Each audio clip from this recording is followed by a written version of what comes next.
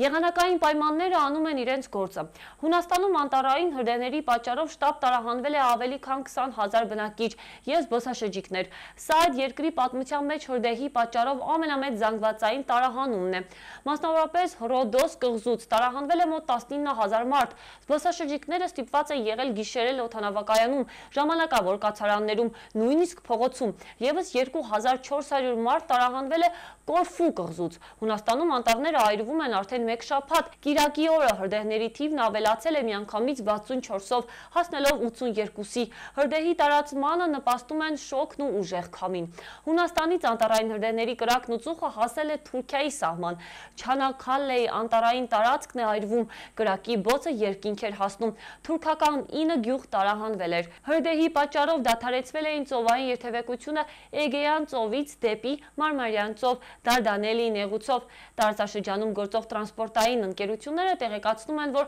15 նավ հյուսիսից 19 հարավից մնացել են ճանապարհին։